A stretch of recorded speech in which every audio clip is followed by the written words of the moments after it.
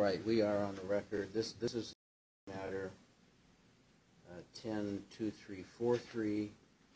Uh, An amended complaint has been filed. Uh, Mr. You have a copy of that with you?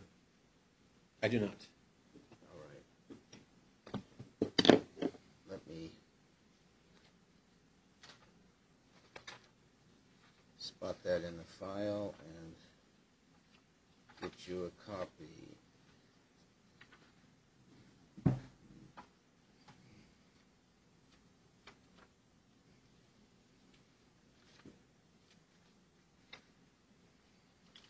Where is the uh, amended, oh, here it is.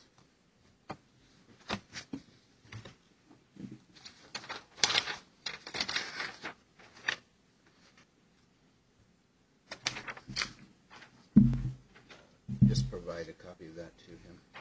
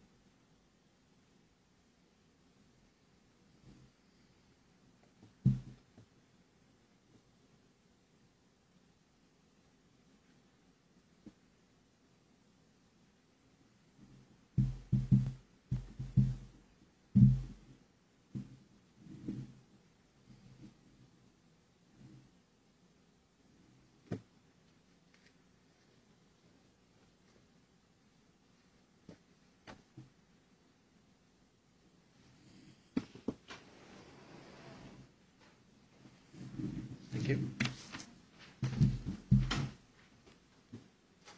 All right, uh, the amended complaint um, alleges um, that on or about the uh, 18th day of December of 2010, um, that you did willfully hinder, delay, or obstruct a police officer in discharge of his official powers or duties, to wit, fail to comply with the lawful orders of officers to roll down his window and comply during a stop at a DUI checkpoint in violation of Sparks Municipal Code 9.03020, um, and the amended complaint having been filed uh, September 18.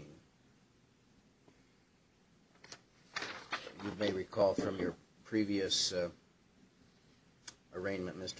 that you have the right to a public and speedy trial. You have the right to have that city prove the charges against you beyond reasonable doubt. Uh, You have the right to confront and question all witness and evidence against you, including use of the court subpoena power. You have the right to uh, confront and question, uh, pardon me, you have the right to remain silent and not incriminate yourself, and to present a defense to the charge.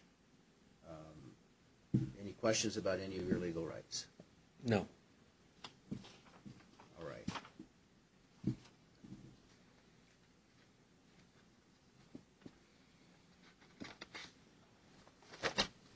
Do you intend uh, to be represented by counsel this time around? Uh, And if so, are you requesting court-appointed counsel or uh, intend to retain your own counsel, or have you made that decision yet? I have not made that decision. No. All right. Uh, As you know, um, the trial is set for um, October 23rd, so if you are going to retain counsel, I'm sure they would uh, want to know right away. Um, And the same with court-appointed counsel, should you, should you qualify for that.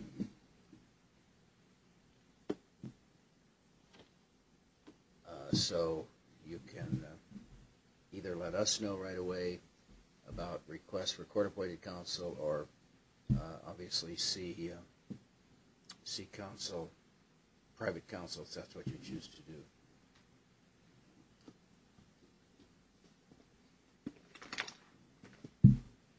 And you were um, previously represented uh, initially by court-appointed counsel, then private counsel, and ultimately uh, have been representing yourself, is that correct? Yes. Which you're entitled to do, of course. Um, All right, uh, having read the complaint and established uh, your representational status, um, your plea, I assume, is going to be not guilty to the charge. I refuse to enter a plea. Not entering a plea? Yes. In, in that case, the court enters a plea for you of not guilty, uh, which has the same effect, and uh, trial will ensue on the, on the given date. Thank you. Any other questions you have? No. All right, that's all we need to do today. Thank you. See you in a cou- few weeks. Pardon me? See you in a few weeks. Yes, thank you. Well, he needs to, uh, you, you have the, uh, you have notice of the trial date, I believe, was delivered to you, and, and that's all you would need for now. I'm going to get some subpoenas. Very good, thank you.